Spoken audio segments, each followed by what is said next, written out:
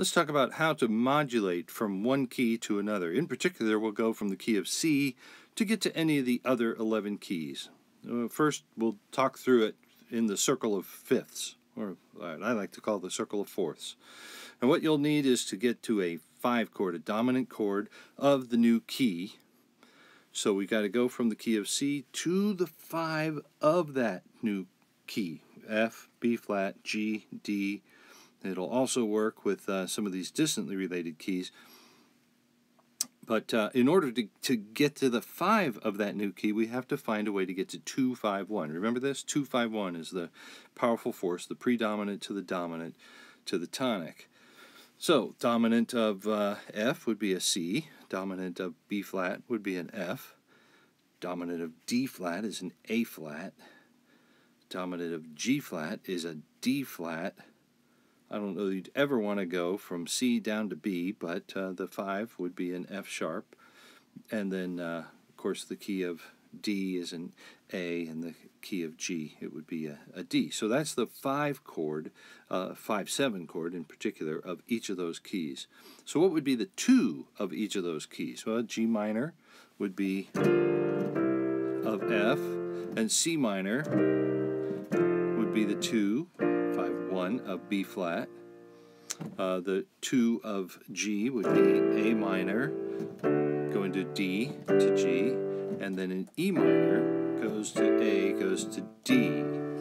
All right, so far all we've done is to identify what the 2 and the 5 are of the new key. How we get from C to another key, though, is to find a common chord what would be common between the key of C and the next one? Uh, well, going to G, it would be the A minor. Going to D, it would be an E minor because those are diatonic to the key of C.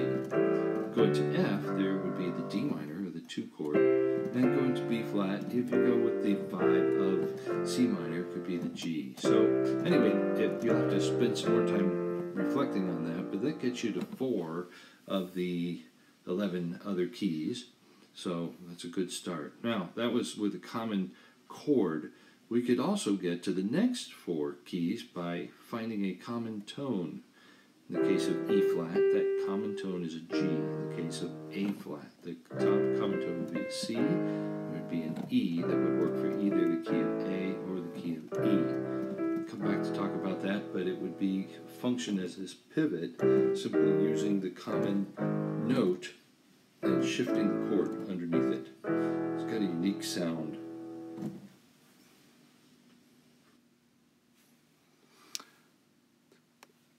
Uh, the next thing for us to talk about is how to go up a half step. And that would be to step down from a C to a B flat in the bass and make it an A flat 7, which takes you up to D flat. Very common way to go up a half step You go up a whole step, it would be staying diatonic at first. Half step down to an A up to D. So if you walk down a whole step and a two whole steps, that takes you up a half step. If you walk down, your first pitch is just a half step down, then you could go up a whole step. And remember, whole step in the bass leads to half step going up. And so there you see C to B flat to A flat takes you up. C to B to A becomes the 5 of D. So that gets you to a couple more keys. Now let's uh, talk about this from, uh, well, if you use the Neapolitan, then that could take you to the G flat. Boy, that's complicated. You seldom want to go a tritone. Let's talk about it from a different angle. We've got uh, one, two, three, four, five, six in the diatonic key of C. So a 2 would be a D minor, 3 is an E minor, 5 is a G, 6 is an A minor. We were saying those were like the 2 chord or something that's leading you into the new key. So let's just follow this. In the key, we're going from the C up to F. We find first a common chord, and that's a 2 and then from there we can go to G minor, to C7, to F. So the 2 chord in C is a 6 chord in F. And then you go 2, 5, 1. That's a little bit uh, clunky when you could go straight there, but uh, if you're looking for a common chord, that's what you have to do. To get to the key of G, you would find the 3 chord in the key of C becomes the 2 of the key of D. I'm sorry, I think I said G. 2, which then goes to 5, which then goes to 1, which is the new D. So 1, 3, pivots to become a 2, 5, 1 in D. Then uh, if we went to 6, that becomes a 2 in the key of G, then a D7 to G, so that's your 2, 5, 1. Started with a 6 chord, which is the pivot, the A minor. Um, you pivot uh, going to the uh, key of B flat's a little bit odd, uh, but uh, just bear with me. If I use a 5 chord and it's a G, then uh, that becomes a 5 of 2, which then leads to F5 and 1 in B flat. That was too many steps. And yet it sounds just fine.